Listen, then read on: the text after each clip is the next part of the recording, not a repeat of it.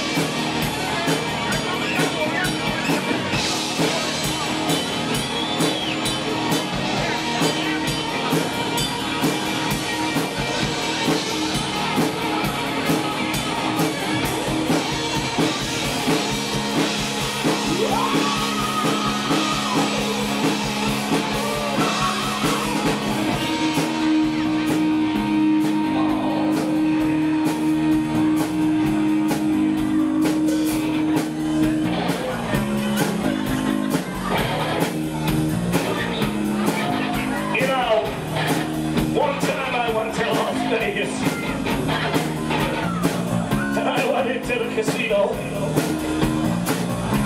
And when I went into the casino, who did I happen to see? But this guy right here. And I, uh, I said, what are you doing here? And he said, just play the spot. I said, uh, what else? He said, well, I met me one hell of a good-looking woman here. And I said, you did? I said, well, tell me about this good-looking woman. I'm going to get in trouble for this.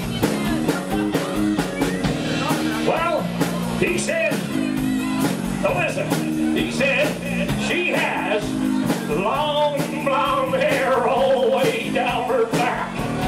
None on her head, just all the way down her back. And I said, oh, oh my God, what a woman. And I said, uh, well, tell me more about this fantastic, beautiful chick. He said, well, she has teeth like stars. I said, yeah. He said, they come out at night. I said, oh my God. I said, uh, well, where is this beautiful woman?